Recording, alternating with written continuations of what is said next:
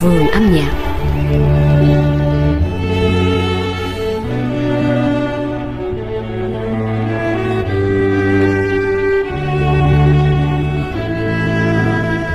Mỗi lần nhắc tới giai điệu Can't Help Falling in Love, giới yêu nhạc thường nghĩ tới lối diễn đạt tuyệt vời của ông hoàng nhạc rock Elvis Presley. Bài hát này từng được tạp chí Rolling Stone xếp vào danh sách 500 ca khúc hay nhất mọi thời đại và có lẽ cũng là một trong những giai điệu xưa nhất do bản nhạc gốc từng được sáng tác cách đây hơn hai thế kỷ. Wise man.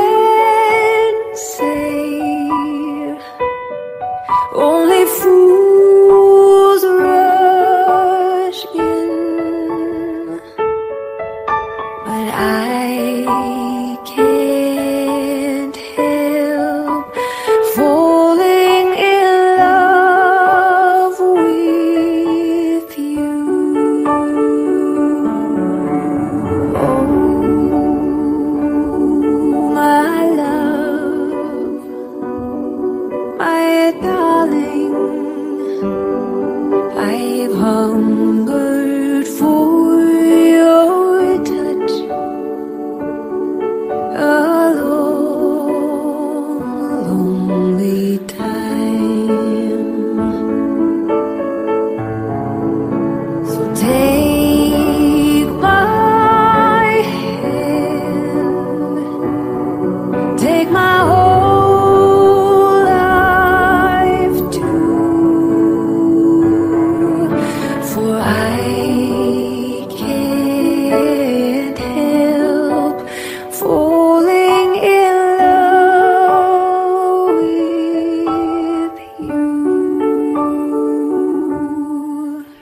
phát hành lần đầu tiên vào cuối năm 1961, nhạc phẩm Can't Help Falling in Love là ca khúc chủ đề của bộ phim Blue Hawaii với Elvis Presley trong vai chính. Vào thời bấy giờ, nhóm sáng tác gồm ba nhạc sĩ Ugo Peretti, Luigi Cariatore và George West được giao công việc thực hiện toàn bộ ca khúc và nhạc nền cho bộ phim Blue Hawaii.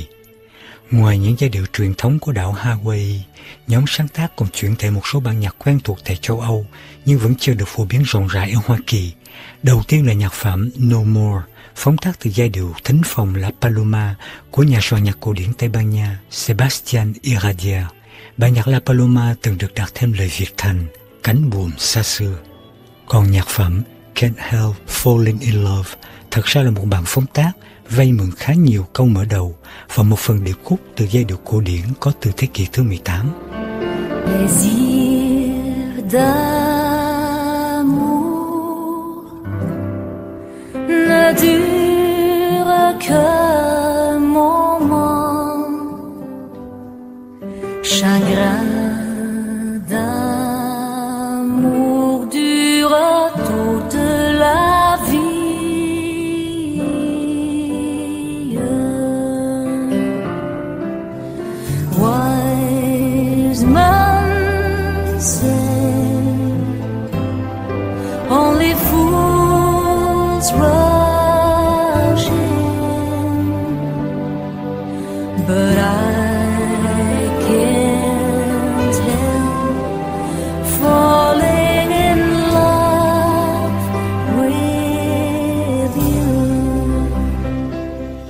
tiếng Pháp, bản nhạc gốc mang tựa đề là Plaisir d'amour, niềm vui tình yêu, do nhạc sĩ Jean-Paul Egide Martini sáng tác vào năm 1784, tức cách đây vừa đúng 240 năm. Lúc đầu bản nhạc này được đặt tên là Première Romance, mối tình đầu tiên, dựa theo một bài thơ tình nổi tiếng của Clarisse de Florian. Nhiều thập niên sau, chính nhạc sĩ trứ danh Hector Berlioz, gương mặt tiêu biểu của trường phái lãng mạn của Pháp, đã soạn lại giai điệu này cho một dàn nhạc giao hưởng vào giữa thế kỷ thứ 19. Trung thành với lối hòa âm phối khí nhẹ nhàng mà tha thiết, giai điệu trở nên thịnh hành trong thời kỳ cổ điển, đặt nền tảng cho hầu hết các bản phóng tác theo phong cách nhạc pop. Có được như vậy mà giai điệu Plaisir d'amour, niềm vui tình yêu, trở nên trường tồn nhờ bao luồng sinh khí mới. Một khi thành công tột bậc với giọng ca của Elvis Presley, nhạc phẩm Can't Help Falling in Love có thêm hàng loạt phiên bản trong 15 thứ tiếng khác nhau, kể cả hai phiên bản tiếng Pháp.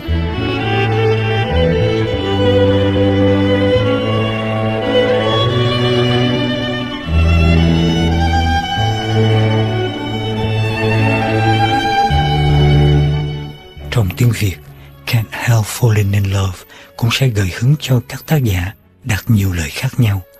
Lời đầu tiên mang từ đề gửi trao trái tim – được nhiều nơi ghi chép là của tác giả Đức Huy do nữ danh ca Ngọc Lan ghi âm. Lời thứ nhì là Tình say của tác giả Nguyễn Hoàng Đô qua phần diễn đạt của nữ ca sĩ Quỳnh Giao. Lời thứ ba là Định mệnh tình yêu của tác giả Ngưu Yên qua phần ghi âm của nghệ sĩ Nguyễn Thảo. Lời thứ tư, Trót yêu em rồi là của tác giả Minh Nguyệt do nam ca sĩ Triệu Vinh trình bày. tựa dòng sông cuốn trôi lòng biển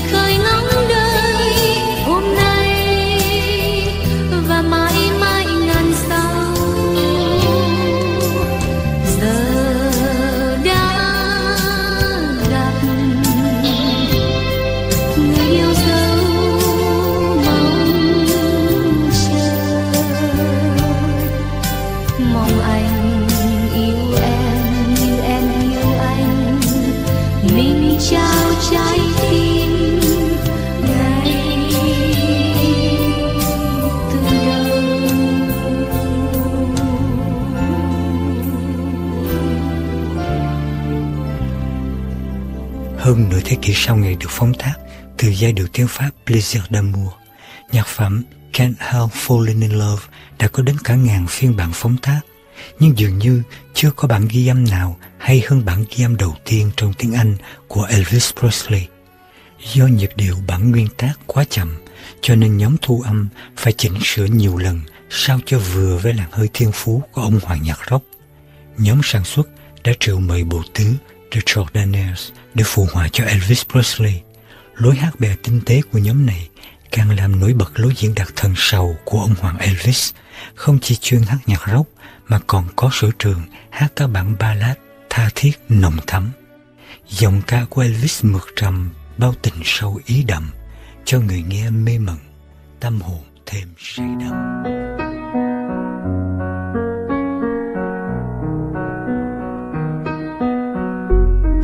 Wise men say